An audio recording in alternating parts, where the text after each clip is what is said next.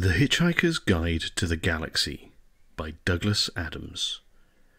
The podcast versions of the original Facebook Live readings during the coronavirus outbreak by Matthew Ogden, the Bearded Wit.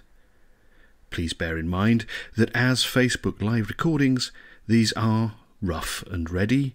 There are mistakes, there are a few trip ups here and there, and there is laughter from the reader as he goes through and follows the humour himself along with you, the listener. We hope you enjoy listening to these and share liberally. Part 29 Before we begin, I'd like to ask you to seriously consider becoming a patron of The Bearded Wit by going to patreon.com forward slash The Bearded Wit.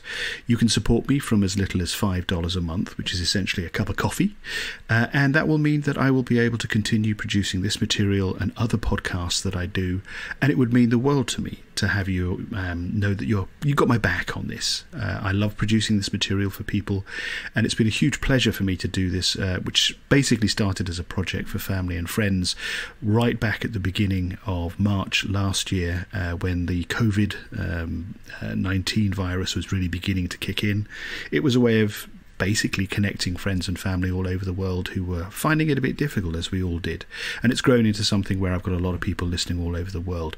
It would mean the world to me if you could take the time just to pop over to uh, patreon.com forward slash the bearded wit, sign up from as little as $5 a month. As I say, uh, it's a cup of coffee it would mean the world to me because the more of you guys, you fabulous people out there that do it, the more I'm able to do more of this stuff for you on an ongoing basis. No obligation, but if you can, I would be so deeply grateful. Also, if you could take a moment to pop over to Facebook and uh, give The Bearded Wit a like and follow, uh, and also go over to my new YouTube channel as well. Um, just search for The Bearded Wit uh, and subscribe. Uh, I'll be putting all of the live readings, slightly edited um, and cleaned up a bit, uh, onto that uh, over the coming weeks. Um, but yeah, join up, get involved, like, share, follow, subscribe, do all the usual social media things. Okay, on with the reading. Thanks very much, everyone. All right, it is nine o'clock. Let us look at the next episode, shall we not?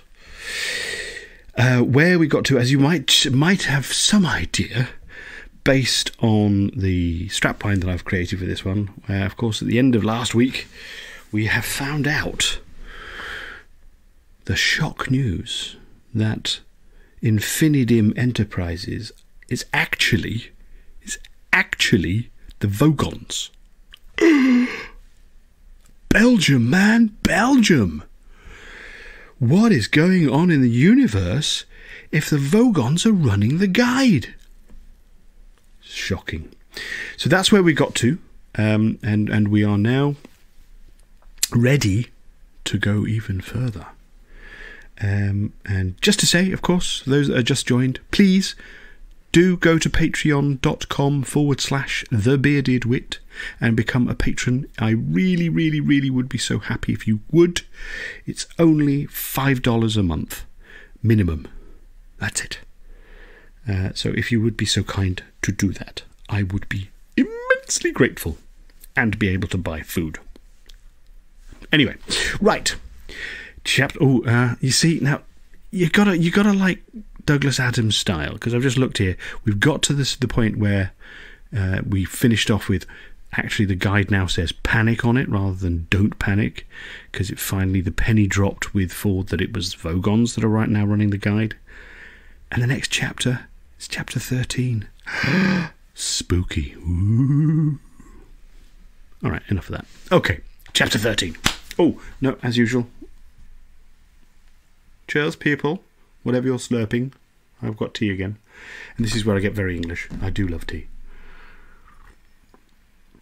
Oh, I do love tea. Oh, God. Yum. Right then. Let us start. The ship dropped quietly to land on the edge of the wide clearing, a hundred yards or so from the village. It arrived suddenly and unexpectedly, but with a minimum of fuss. One moment it was perfectly ordinary late afternoon in the early autumn. The leaves were just beginning to turn red and gold, the river was beginning to swell again with the rains from the mountains in the north, the plumage of the Pikka birds was beginning to thicken in, uh, to was beginning to thicken in anticipation of the coming winter frosts. Any day now, the perfectly normal beasts would start their thunderous migration across the plains. An old Thrashbarg was beginning to mutter to himself as he hobbled this way, his, his way around the village a muttering which meant that he was rehearsing and elaborating the stories that he would tell of the past year once the evenings had drawn in, and people had no choice but to gather round the fire and listen to him and grumble and say that that wasn't how they remembered it, and the next moment there was a spaceship sitting there, gleaming in the warm autumn sun. It hummed for a bit and then stopped.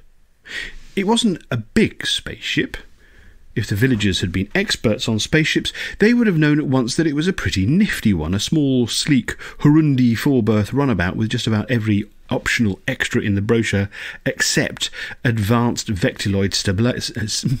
My God, advanced vectoid stabilisis, which only wimps went for.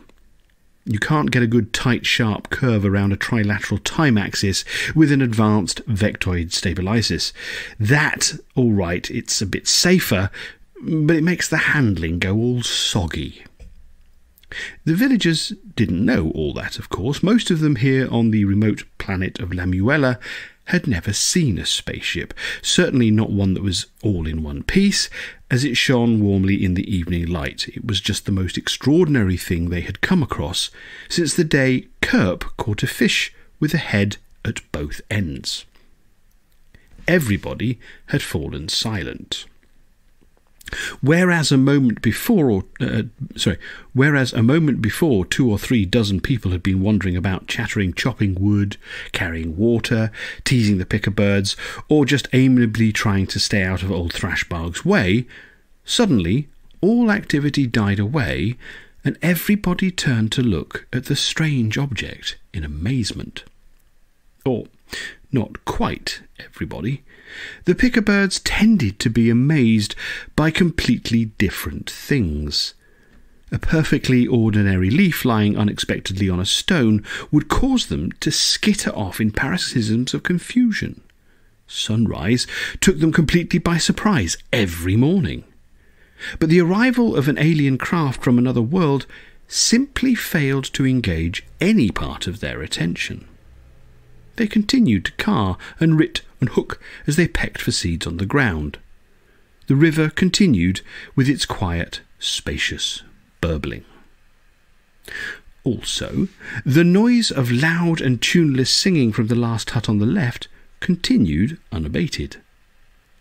Suddenly, with a slight click and a hum, a door folded itself outwards and downwards from the spaceship. Then, for a moment or two, nothing further seemed to happen, other than the loud singing from the last hut on the left. And the thing just sat there. Some of the villagers, particularly the boys, began to edge forward a little bit to have a closer look. Old Thrashbarg tried to shoo them back. This was exactly the sort of thing that old Thrashbarg didn't like to have happening. He hadn't foretold it, not even slightly, and even though he would be able to wrestle the whole thing into his continuing story somehow or other, it was really getting all a bit much to deal with. He strode forward, pushed the boys back, and raised his arms and his ancient knobbly staff into the air. The long, warm light of the evening sun caught him nicely. He prepared to welcome whatever gods these were, as if he had been expecting them all along. Still, nothing happened. Gradually, it became clear that there was some kind of argument going on inside the craft. time went by and old Thrashbarg's arms were beginning to ache. Suddenly, the ramp folded itself back up again. That made it easy for Thrashbarg. They were demons, and he had repulsed them. The reason he hadn't foretold it was that prudence and modesty forbade. Almost immediately, a different ramp folded itself out on the other side of the craft from where Thrashbarg was standing, and two figures at last emerged on it, still arguing with each other and ignoring everybody, even Thrashbarg, whom they wouldn't have even noticed from where they were standing. Old Thrashbarg chewed angrily on his beard to continue to stand there with his arms upraised, to kneel with his head bowed forward and his staff held out pointing at them, to fall backwards as if overcome in some titanic inner struggle. Perhaps just to go off to the woods and live in a tree for a year or two without speaking to anyone. He opted just to drop his arms smartly as if he had done what he meant to do. They were really hurting, so he didn't have much choice. He made a small secret sign he had just invented towards the ramp which had closed, and then made three and a half steps backwards, so that he could at least get a good look at whoever these people were, and then decide what to do next. The taller one was a very good looking woman, wearing soft and crumply clothes. Old Thrashbarg didn't know this, but they were made of Rimplon, a new synthetic fabric which was terrific for space travel because it looked its absolute best when it was all creased and sweaty. The shorter one was a girl. She was awkward and sullen looking, and was wearing clothes which looked their absolute worst when they were all creased and sweaty. And what was more, she almost certainly knew it. All eyes watched them, except for the Pikka birds, which had their own things to watch. The woman stood and looked around her. She had a purposeful air about her. There was obviously something in particular she wanted, but she didn't know exactly where to find it. She glanced from face to face among the villagers assembled curiously around her, without apparently seeing what it was she was looking for. Thrashbarg had no idea how to play this at all, and decided to resort to chanting. He threw back his head and began to wail, but was instantly interrupted by a fresh outbreak of song from the hut of the sandwich maker. The one on the left, the last one on the left. The woman looked around sharply, and gradually a smile came over her face. Without so much as a glance at old Thrashbarg, she started to walk towards the hut. There is an art to the business of making sandwiches, which it is given to few ever to find the time to explore in depth. It is a simple task, but the opportunities for satisfaction are many and profound. Choosing the right bread, for instance.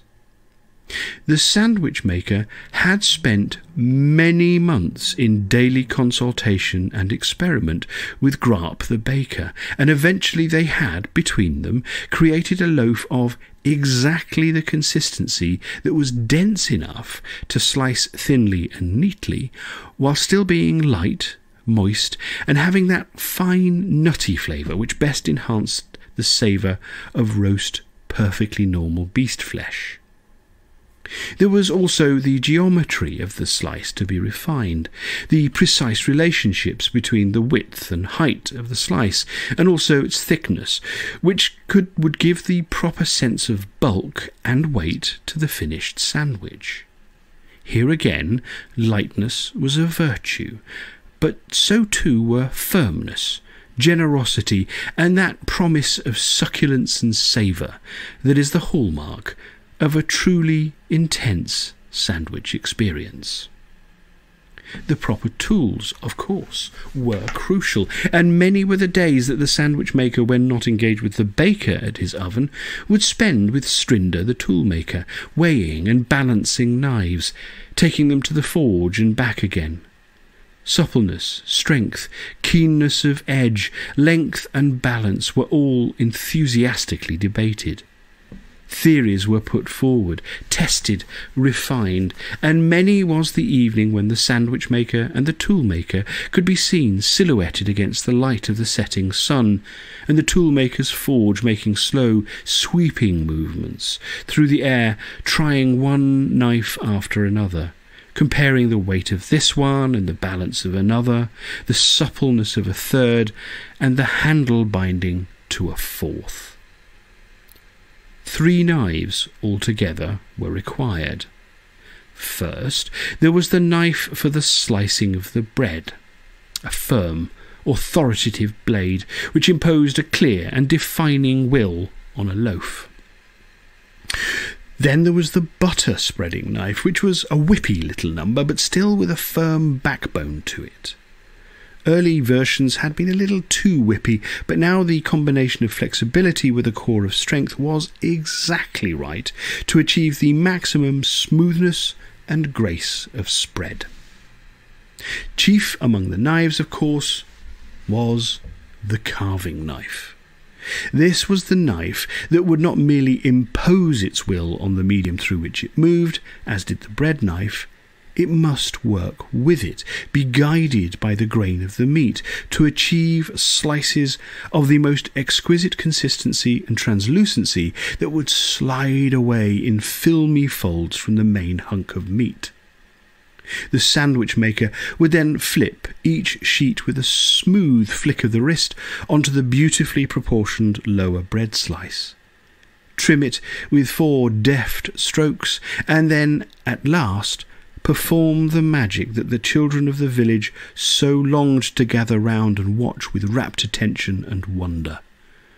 With just four more dexterous flips of the knife, he would assemble the trimmings into a perfectly fitting jigsaw of pieces on top of the primary slice.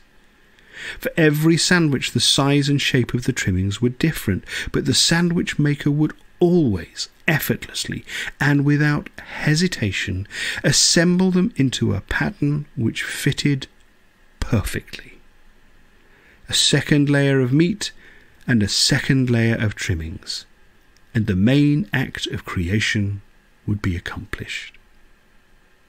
The sandwich maker would pass what he had made to his assistant, who would then add a few slices of newcumber and fladdish and a touch of splagberry sauce, and then apply the topmost layer of bread and cut the sandwich with a fourth and altogether plainer knife.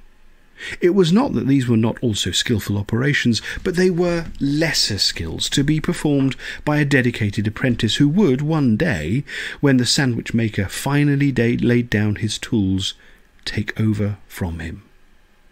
It was an exalted position, and that apprentice, Drimple, was the envy of all his fellows. There were those in the village who were happy chopping wood, those who were content carrying water, but to be the sandwich maker was very heaven. And so the sandwich maker sang as he worked. He was using uh, the last of the year's salted meat. It was a little past its best now, but still the rich savour of perfectly normal beast meat was something unsurpassed in any of the sandwich maker's previous experience. Next week, it was anticipated that the perfectly normal beasts would appear again for their regular migration, whereupon the whole village would once again be plunged into frenetic action, hunting the beasts, killing perhaps six, and maybe even seven dozen of the thousands that thundered past. Then the beasts must be rapidly butchered and cleaned, and with most of the meat salted to keep it through the winter months until the return migration in the spring, that would be when they would replenish their supplies. The very best of the meat would be roasted straight away for the feast that marked the autumn passage. The celebrations would last for three days of sheer exuberance, dancing and stories that old Thrashbarg would tell of how the hunt had gone. Stories that he would have been busy sitting making up in his hut whilst the rest of the village was actually out doing the hunting. And then the very, very best of the meat would be saved from the feast and delivered cold to the sandwich maker and the sandwich maker would exercise on it the skills that he had brought to them from the gods, and make the exquisite sandwiches of the third season, of which the whole village would partake before beginning the next day to prepare themselves for the rigours of the coming winter. Today he was just making ordinary sandwiches. If such delicacies, so lovingly crafted, could ever be called ordinary. Today his assistant was away, so the sandwich maker was applying his own garnish, which he was happy to do. He was happy with just about everything, in fact. He sliced. He sang. He flipped each piece of meat neatly onto a slice of bread, trimmed it, and assembled all the trimmings into their jigsaw a little salad, a little sauce, another slice of bread, another sandwich, another verse of Yellow Submarine. Hello, Arthur. The sandwich maker almost sliced his thumb off. The villagers had watched in consternation as the woman had marched boldly to the hut of the sandwich maker. The sandwich maker had been sent to them by Almighty Bob in a burning, fiery chariot. This, at least, was what Thrashbarg had said, and Thrashbarg was the authority on these things. So, at least, Thrashbarg claimed, and Thrashbarg was, and so on and so on. It was hardly worth arguing about. A few villagers wondered why Almighty Bob would send his only begotten sandwich maker in a burning fiery chariot rather than perhaps in one that might have landed quietly and without destroying half the forest, filling it with ghosts, and also injuring the sandwich maker quite badly. Old Thrashbarg said that it was the ineffable will of Bob, and when they asked him what ineffable meant, he said, Look it up. This was a problem because old Thrashbarg had the only dictionary, and he would not let them borrow it. They asked him why not, and he said that it was not for them to know the will of Almighty Bob, and when they asked him why not again, he said because he said so. Anyway, somebody sneaked into old Thrashbarg's hut one day whilst he was out having a swim and looked up ineffable. Ineffable apparently meant unknowable, indescribable, unutterable, not to be known or spoken, spoken about. So that cleared that up. At least they'd got the sandwiches.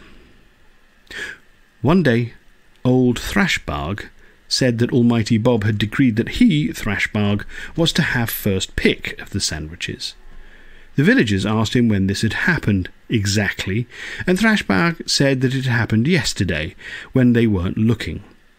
Have faith, old Thrashbarg said or burn. They let him have first pick of the sandwiches. It seemed easiest. And now, this woman, this woman had just arrived out of nowhere and gone straight for the sandwich maker's hut. His fame had obviously spread, though it was hard to know where to, since, according to old Thrashbarg, there wasn't anywhere else. Anyway, wherever it was she had come from, presumably somewhere ineffable, she was now here and was in the sandwich maker's hut. Who was she? And who was the strange girl who was hanging around outside the hut moodily and kicking at stones and showing every sign of not wanting to be there? It seemed odd that someone should come all the way from somewhere ineffable in a chariot that was obviously a vast improvement on the burning fiery one which had brought them the sandwich maker, if she didn't even want to be here. They all looked to Thrashbarg, but he was on his knees, mumbling and looking very firmly up into the sky, and not catching anybody else's eye until he'd thought of something. Trillian! Said the sandwich maker, sucking his bleeding thumb. What? Who? When? Where? Exactly the questions I was going to ask you, said Trillian, looking around Arthur's hut. It was neatly laid out with his kitchen utensils. There were some fairly basic cupboards and shelves, and a basic bed in the corner. A door at the back of the room led to something Trillian couldn't quite see because the door was closed. Nice, she said, but in an inquiring tone of voice. She couldn't quite make out what the setup was.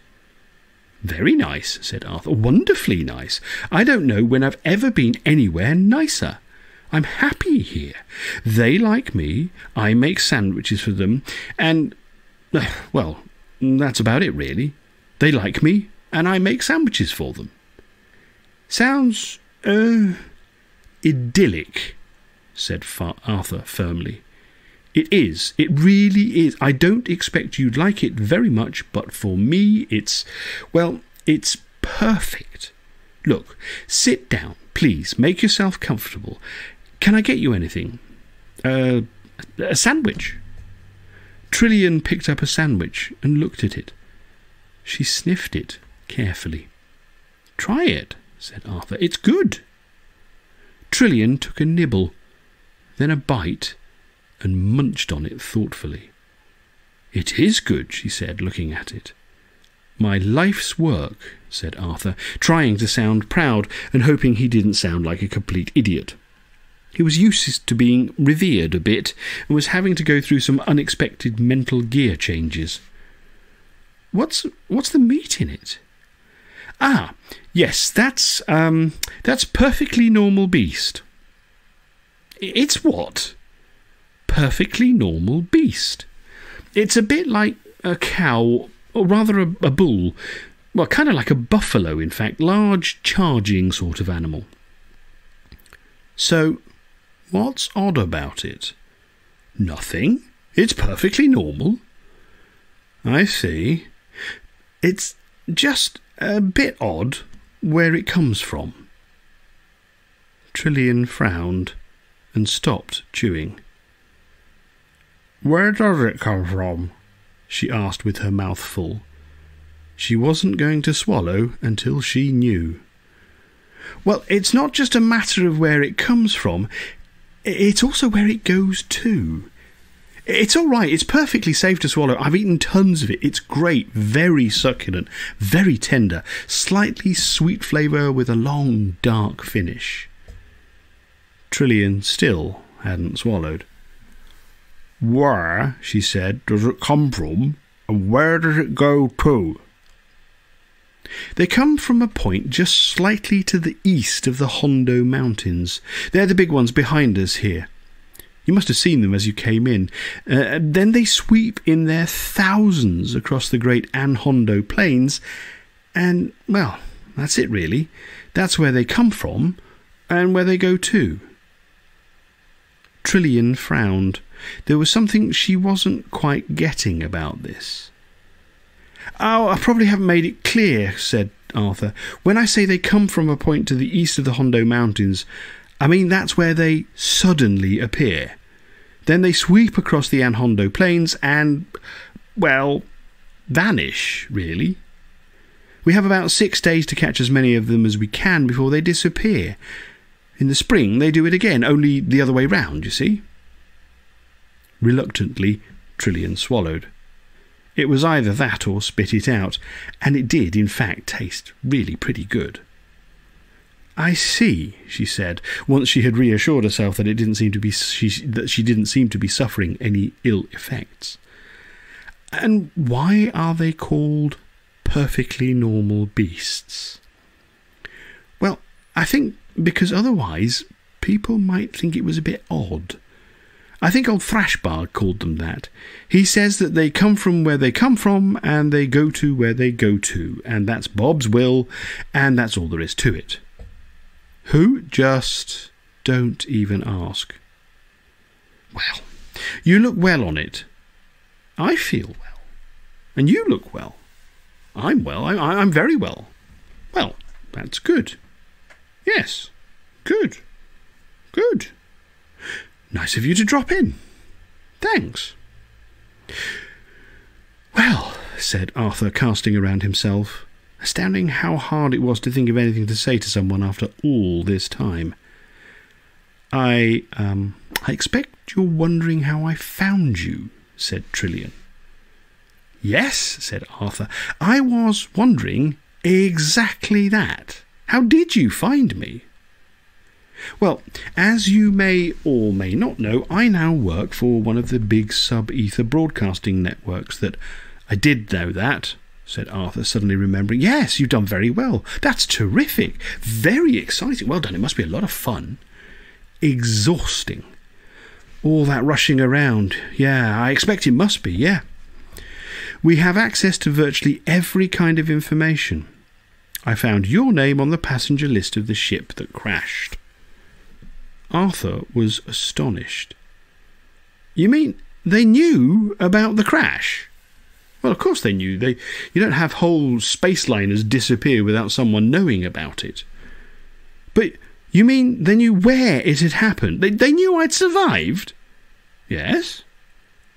But nobody's ever been to look or search or rescue. There's, there's been absolutely nothing. Well, well, there wouldn't be. It, it's a complicated insurance thing. They just bury the whole thing, pretend it never happened. The insurance business is completely screwy now. You know they've reintroduced the death penalty for insurance company directors. Oh God, yes. really? said Arthur. No, no, I didn't. For what offence? Trillian frowned. What do you mean, offence? Ah, I see. Trillian gave Arthur a long look, and then, in a new tone of voice, said, It's time for you to take responsibility, Arthur. Arthur tried to understand this remark. He found it often took a moment or two before he saw exactly what it was that people were driving at, so he let a moment or two pass at a leisurely rate. Life was so pleasant and relaxed these days, there was time to let things sink in. He let it sink in. No, he still didn't quite understand what she meant, though, so in the end he had to say so. Trillian gave him a cool smile and then turned back to the door of the hut. Random, she called. Come in. Come and meet your father. Oh my god quick slurp of tea.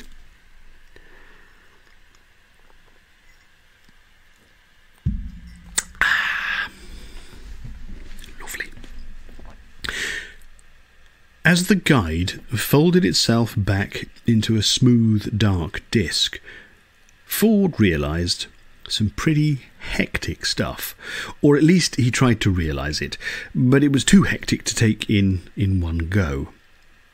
His head was hammering, his ankle was hurting, and though he didn't like to be a wimp about his ankle, he always found that intense multidimensional logic was something he best understood in the bath. He needed time to think about this. Time, a tall drink, and some kind of rich, foamy oil.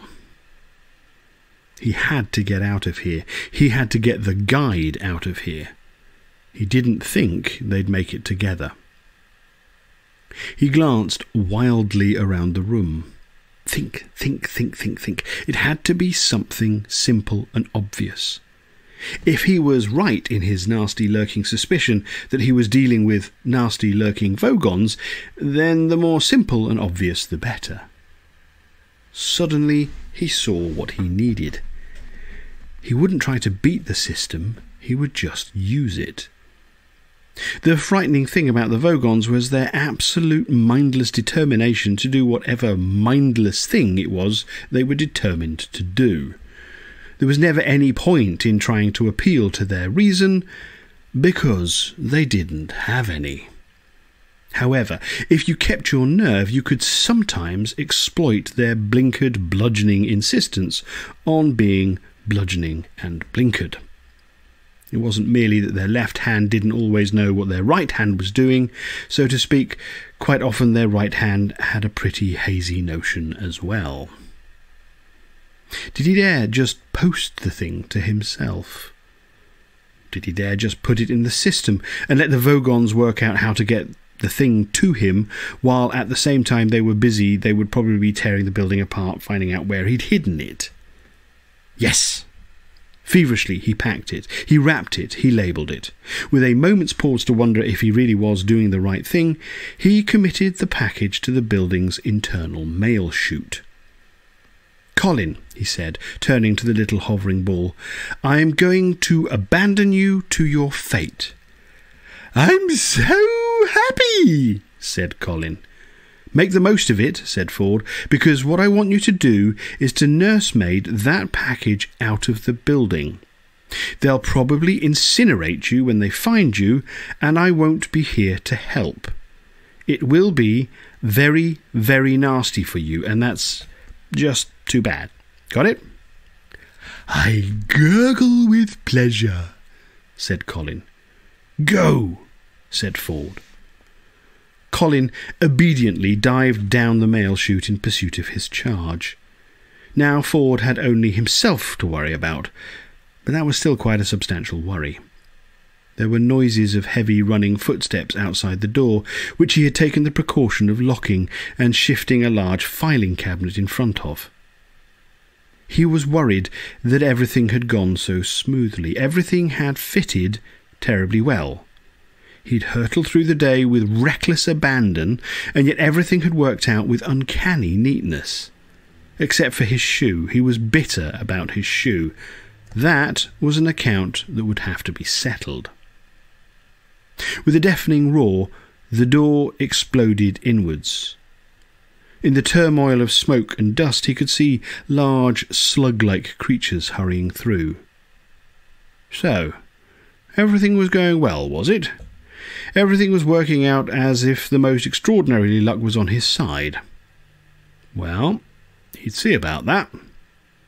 In a spirit of inquiry, he hurled himself out of the window again. The first month, getting to know each other, was a little difficult. The second month, trying to come to terms with what they got to know about each other in the first month, was much easier. The third month, when the box arrived, was very tricky indeed. At the beginning, it was a problem even trying to explain what a month was. This had been a pleasantly simple matter for Arthur here on Lamuella. The days were just a little over 25 hours long, which basically meant an extra hour in bed every single day. And of course, having regularly to reset his watch, which Arthur rather enjoyed doing. He also felt at home with the number of suns and moons which Lamuella had, one of each, as opposed to some of the planets he'd fetched up on from time to time, which had had ridiculous numbers of them. The planet orbited its single sun every 300 days, which was a good number because it meant the year didn't drag. The moon orbited Lamuella just over nine times a year, which meant that a month was a little over 30 days. Which was absolutely perfect because it gave you a little more time to get things done in. It was not merely reassuringly like Earth, it was actually rather an improvement. Random, on the other hand, thought she was trapped in a recurring nightmare. She would have crying fits and think that the moon was out to get her.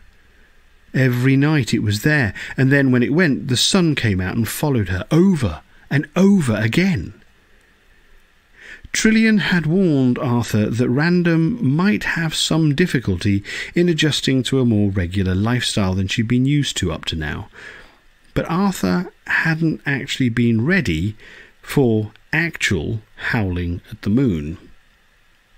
He hadn't been ready for any of this, of course. His daughter. His daughter. He and Trillian, they they never they never had they? He was absolutely convinced he would have remembered. What about Zaphod? Not the same species, Arthur, Trillian had answered. When I decided I wanted a child, they ran all sorts of genetic tests on me and could only find one match anywhere. It was only later that it dawned on me. I double checked, and I was right. They don't usually like to tell you, but I insisted. You, you mean you went to a DNA bank? Arthur had asked, pop eyed. Yes, but she wasn't quite as random as her name suggests, because of course you were the only Homo sapiens donor. I must say, though, it seems you were quite a frequent flyer. Arthur had stared wide eyed at the unhappy looking girl who was slouching awkwardly in the doorframe looking at him. But when? How long? You mean what age is she? Y- yes. The wrong one.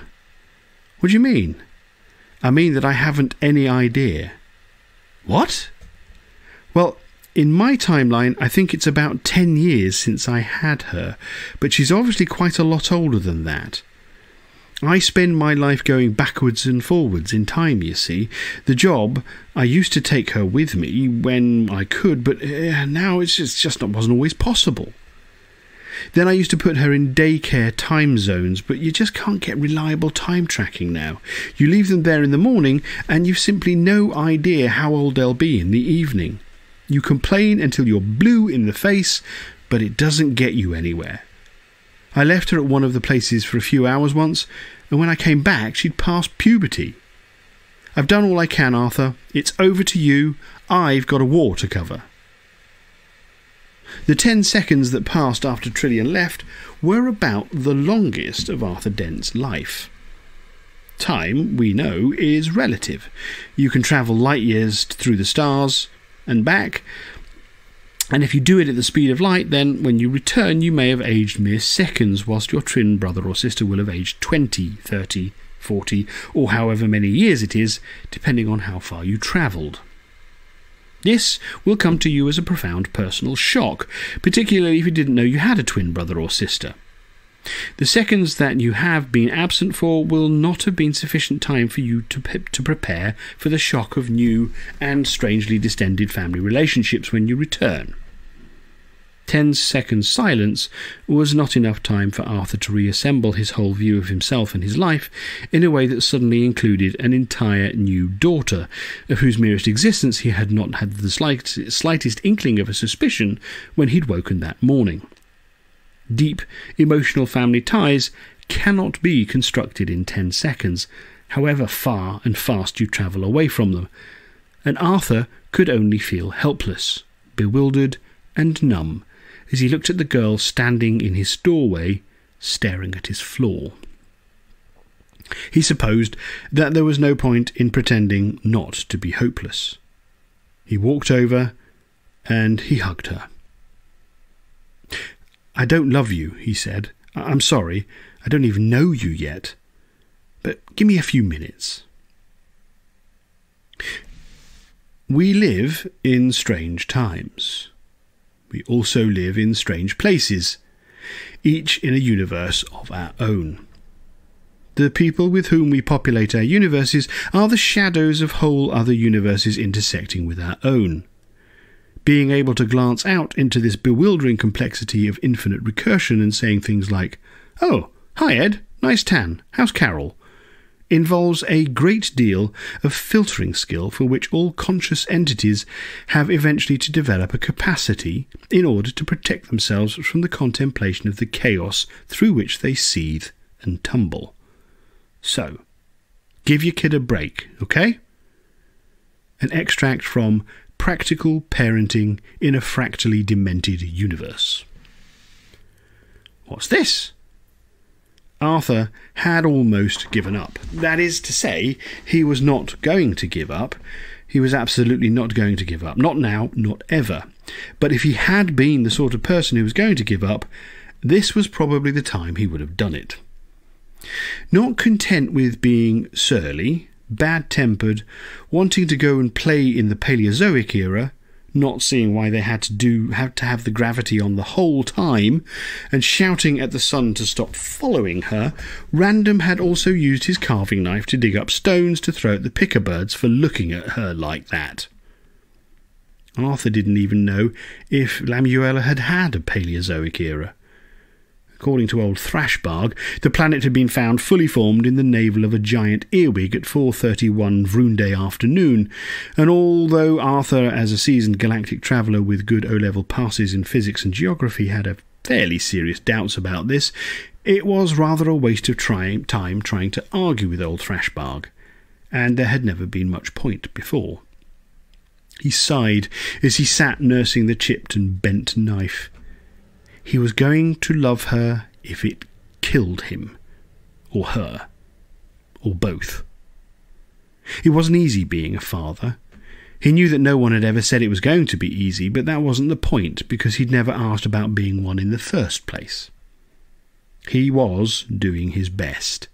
Every moment that he could rest away from making sandwiches, he was spending with her, talking to her, walking with her, sitting on the hill with her, watching the sun go down over the valley in which the, va- the village nestled, trying to find out about her life, trying to explain to her about his.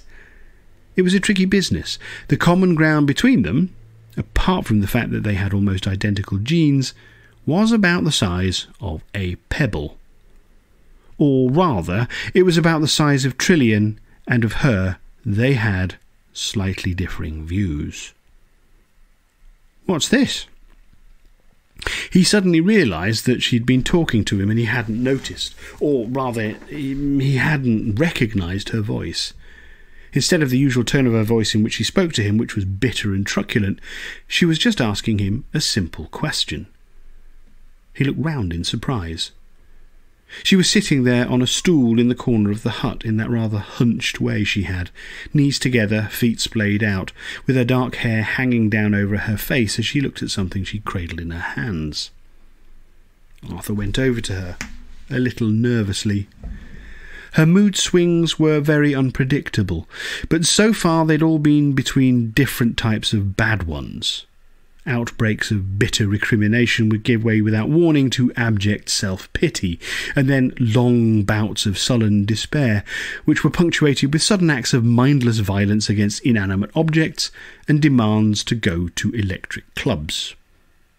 Not only were there no electric clubs on Lamuella, there were no clubs at all, and in fact, no electricity. There was a forge and a bakery, a few carts and a well. But those were the high water mark of Lamuellan technology, and a fair number of Random's unquenchable rages were directed against the sheer incomprehensible backwardness of the place.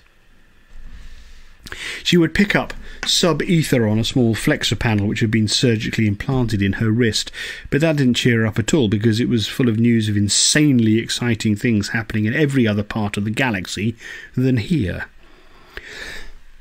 Pardon me. It would also give her frequent news of her mother, who dumped her to go off and cover some war which now seemed not to have happened, or at least to have gone all wrong in some way because of the absence of any proper intelligence gathering. It also gave her access to lots of great adventure shows featuring all sorts of fantastically expensive spaceships crashing into each other.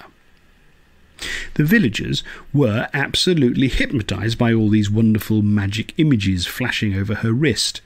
They'd only ever seen one spaceship crash, and it had been so frightening, violent, and shocking, and had caused so much horrible devastation, fire, and death, that stupidly they had never realized it was entertainment. Old Thrashbarg had been so astonished by it that he had instantly seen Random as an emissary from Bob, but had fairly soon afterwards decided that in fact she had been sent as a test of his faith, if not of his patience. He was also alarmed at the number of spaceship crashes he had to start incorporating into his holy stories if he was going to hold the attention of the villagers and not have them rushing off to peer at Random's wrist all the time. At the moment, she was not peering at her wrist. Her wrist was turned off. Arthur squatted down quietly beside her to see what she was looking at. It was his watch.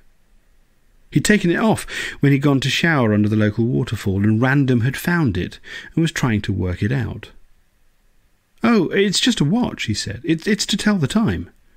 I know that, she said, but you keep fiddling with it, and it doesn't seem to tell the right time, or, or anything like it. She brought up the display on her wrist panel, which automatically produced a readout of local time. her wrist panel had quietly got on with the business of measuring the local gravity and orbital momentum, and noticed where the sun was and tracked its movement in the sky, all within the first few minutes of Random's arrival. It had then quickly picked up clues from its environment as to what the local unit conventions were and reset itself appropriately. It did this sort of thing continually, which was particularly valuable if you did a lot of travelling in time as well as space. Random frowned at her father's watch. It didn't do any of this. Arthur was very fond of it. It was better, a better one than he would ever afforded himself. He had been given it on his 22nd birthday by a rich and guilt ridden godfather who had up to that point forgotten every single birthday he'd had, and also his name. It had the day, the date, the phases of the moon. It had, to Albert on his 21st birthday, and the wrong date engraved on the battered and scratched surface on its back of its back in letters that were still just about visible. That watch had been through a considerable amount of stuff in the last few years, most of which would fall well outside the warranty. He didn't suppose, of course, that the warranty had especially mentioned that the watch was guaranteed to be accurate only within the very particular gravitational and ma- magnetic fields of the Earth. And so long as the day was 24 hours long and the planet didn't explode, and so on. These were such basic assumptions that even the lawyers would have missed them. Luckily, his watch was a wind up one, or at least a self winder. Nowhere in the, else in the galaxy would he have found batteries of precisely the dimensions and power specifications that were perfectly standard on Earth. So, what are all these numbers? asked Random. Arthur took it from her. Well, these numbers round the edge mark the hours. In the little window on the right, it says th, which means Thursday, and the number is 14, which means it's the 14th day of the month of May, which is what it says in this window over here. And this sort of crescent shaped window at the top tells you about the phases of the moon. In other words, it tells you how much of the moon is lit up by at night by the sun, which depends on the relative positions of the sun and the moon and, well, the earth. The earth? said Random. Yes. And that's where you came from, and where Mum came from. Yeah. Random took the watch back from him and looked at it again, clearly baffled by something. And she held it up to her ear and listened in puzzlement. What's that noise? It's ticking. It's the mechanism that drives the watch. It's called clockwork. It's all kind of interlocking cogs and springs that work to turn the hands round at exactly the right speed to mark the hours and minutes and days and so on. Random carried on peering at it.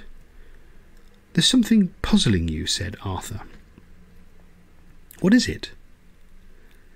Yes, said Random at last. Why is it all in hardware? bit of cough, uh, of tea. Got a frog in my throat. Oh, Arthur suggested that they went for a walk. He felt that there were things that they should discuss, and for once Random seemed, if not precisely amenable and willing, then at least not growling. From Random's point of view, this was all also very weird. It wasn't that she wanted to be difficult as such, it was just that she didn't know how or what else to be. Who was this guy? What was this life she was supposed to lead? What was this world she was supposed to lead it in? And, and what was this universe that kept coming at her through her eyes and ears? What was it for? What did it want? She'd been born on a spaceship that had been going from somewhere to somewhere else. And when it had got to somewhere else, somewhere else had only turned out to be another somewhere that you had to get to, get to somewhere else again from, and so on. It was her normal expectation that she wasn't supposed to be somewhere else. Sorry, it was her normal expectation that she was supposed to be somewhere else. It was normal for her to feel that she was in the wrong place. Then, constant time travel had only compounded this problem. It had led to the feeling that she was not only always in the wrong place, but she was also almost there at always the wrong time. She didn't notice that she felt this because it was the only way she ever felt, just as it never seemed odd to her that nearly everywhere that she went she either needed to wear weights or anti gravity suits, and usually special apparatus for breathing as well.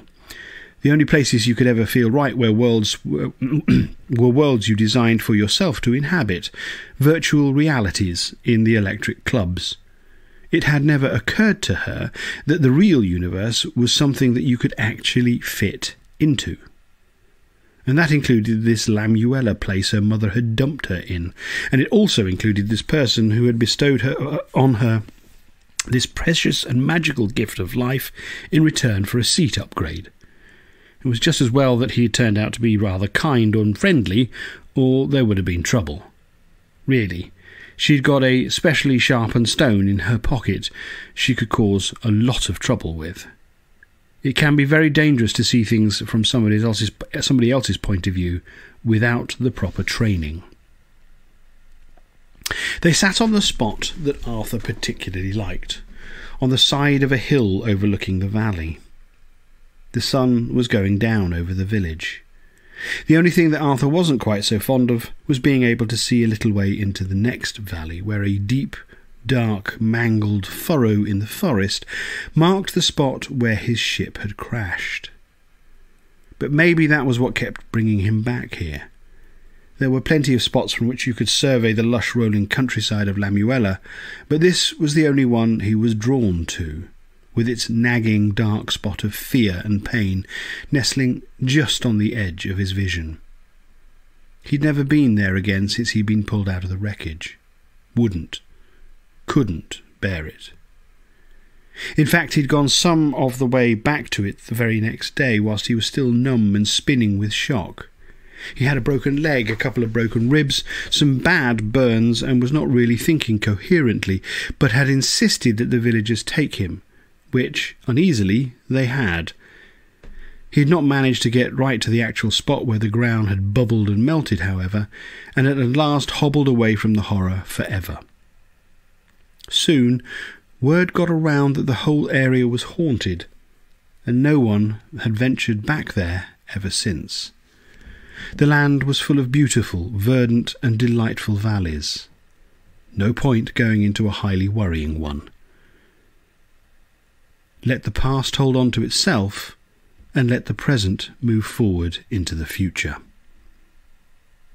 Random cradled the watch in her hands slowly turning it to let the long light of the evening sun shine warmly in the scratches and scuffs of the thick glass. It fascinated her watching the spidery little second hand ticking its way round. Every time it completed a full circle, the longer of the two main hands had moved on exactly to the next of the small sixty divisions around the dial, and when the long hand had made its own full circle, the smaller hand had moved on to the next of the main digits. You've been watching it for over an hour, said Arthur quietly. I know, she said. An hour is when the big hand has gone all the way round, yes? That's right. Then I've been watching it for an hour and seventeen minutes. She smiled with a deep and mysterious pleasure, and moved very slightly so that she was resting just a little against his arm. Arthur felt a small sigh escape from him that had been pent up inside his chest for weeks. He wanted to put his arm around his daughter's shoulders, but felt it was too early yet and that she would shy away from him. But something was working. Something was easing inside her. The watch meant something to her that nothing in her life had so far managed to do. Arthur was not sure that he had really understood what it was yet, but he was profoundly pleased and relieved that something had touched her. Explain to me again, said Random. There's really nothing to it, said Arthur. Clockwork was something that developed over hundreds of years. Earth years. Yes, it became finer and finer and more and more intricate. It was highly skilled and delicate work. It had to be made very small, and it had to carry on working accurately, however much you waved it around or dropped it. But only on one planet.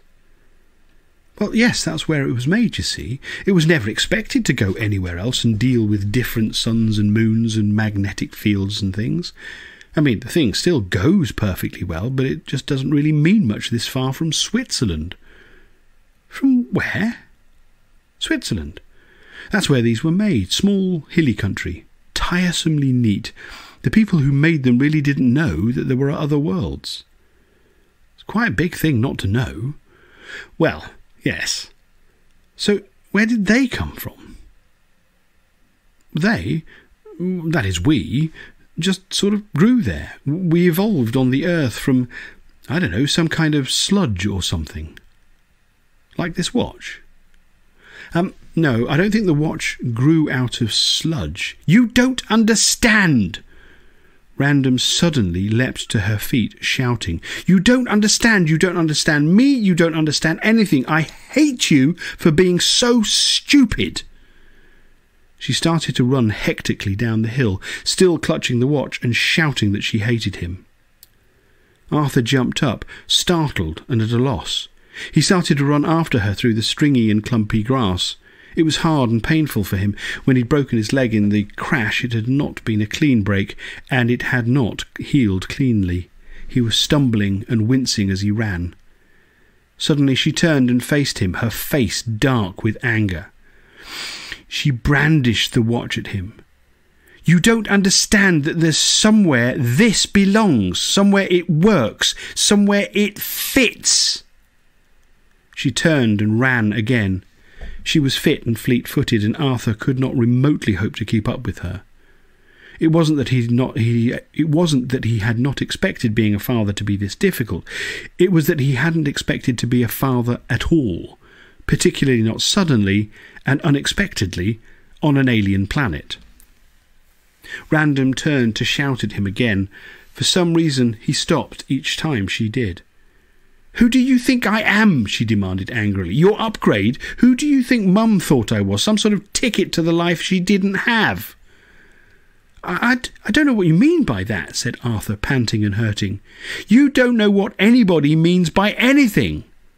What do you mean? Shut up! Shut up! Shut up! Tell me, please, tell me. What does she mean by saying the life she didn't have? She wished she'd stayed on Earth. She wished she hadn't gone off with that stupid, brain dead fruit gum Zaphod. She thinks she would have had a different life. But, said Arthur, she, she would have been killed. She would have been killed when the world was destroyed. That's a different life, isn't it? That's. Well, she wouldn't have had to have me. She hates me. You can't mean that. How can anyone possibly? Uh, I, I, mean, she had me because I was meant to make things fit for her. That was my job. But I fitted even worse than she did. So she just shut me off and carried on with her stupid life. What's stupid about her life? She's fantastically successful, isn't she? She's all over time and space, all over Sub-Etha TV networks. Stupid, stupid, stupid, stupid. Random turned and ran off again.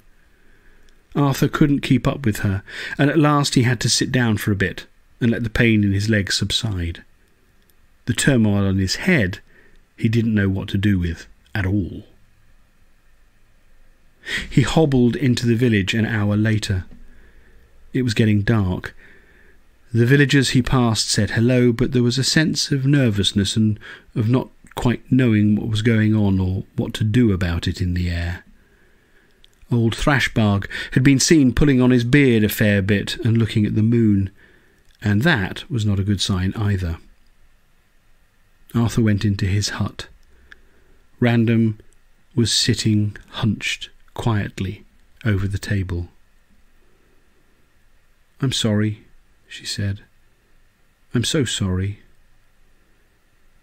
That's all right, said Arthur as gently as he knew how. It's good to, well, to have a little chat. There's so much we have to learn and understand about each other, and life isn't, well, it isn't all just tea and sandwiches. I'm so sorry, she said again, sobbing. Arthur went up to her and put his arm around her shoulder. She didn't resist or pull away. Then Arthur saw what it was she was so sorry about. In the pool of light thrown by a Lamuellan lantern lay Arthur's watch. Random had forced the back off it with the back edge of the butter spreading knife, and all of the minute cogs and springs and levers were lying in a tiny cockeyed mess where she'd been fiddling with them. I, I, I just wanted to see how it all worked, said Random, how it all fitted together. I'm so sorry. I can't get it back together. I'm sorry. I'm sorry. I'm sorry. I don't know what to do. I'll get it repaired. Really, I'll get it repaired. The following day, Thrashbarg came round and said all sorts of Bob stuff. He tried to exert a calming influence by inviting Random to let her mind dwell on the ineffable mystery of the giant earwig, and Random said there was no giant earwig, and Thrashbarg went very cold and silent, and said that she would be cast into the outer darkness. Random said, Good. She'd been born there. And the next day, the parcel arrived. This was all getting a bit eventful. In fact, when the parcel arrived, delivered by a kind of robot drone that dropped out of the sky making droning robot noises noises noses noises it brought with it a sense which gradually began to permeate through the whole village that it was almost one event too many it wasn't the robot drone's fault. All it required was Arthur Dent's signature or thumbprint or just a few scrapings of skin cells from the nape of his neck, and it would be on its way again. It hung around, waiting, not quite sure what all of this resentment was about. Meanwhile, Kirp had caught another fish with a head at both ends. But on closer inspection, it turned out that it was in fact two fish cut in half and sewn together rather badly. So not only had Kirp failed to rekindle any great interest in two headed fish, but he had seriously cast doubt on the authenticity of the first one. Only the Pikka birds seemed to feel that everything was exactly normal. The robot drone got Arthur's signature and made its escape. Arthur bore the parcel back to his hut and sat and looked at it.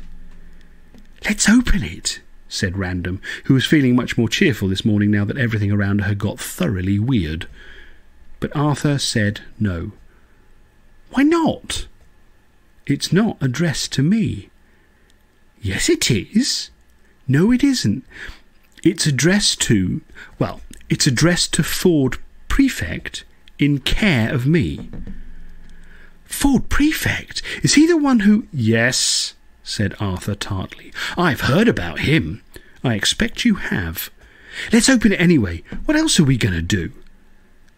I don't know, said Arthur, who really wasn't sure. He'd taken his damaged knives over to the forge bright and early that morning, and Strinder had had a good look at them and said that he would see what he could do. They had tried the usual business of waving the knives through the air, feeling for the point of balance and the point of flex and so on, but the joy was gone from it and Arthur had a sad feeling that his sandwich making days were probably numbered. He hung his head. The next appearance of the perfectly normal beasts was imminent, but Arthur felt that the usual festivities of hunting and feasting were going to be rather muted and uncertain. Something had happened here on Lamuella, and Arthur had a horrible feeling that it was him. What do you think it is? urged Random, turning the parcel over in her hands. I don't know, said Arthur. Something bad and worrying, though. How do you know? Random protested. Because anything to do with Ford Prefect is bound to be worse and more worrying than something that isn't, said Arthur. Believe me. You're upset about something, aren't you? said Random. Arthur sighed. I'm just I'm just feeling a little jumpy and unsettled, I think, said Arthur.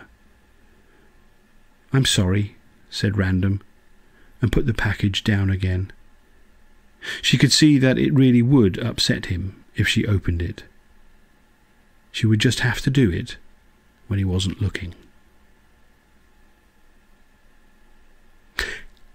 And at seven minutes past ten, that is where we will leave it for this evening. Thank you all for joining, as usual.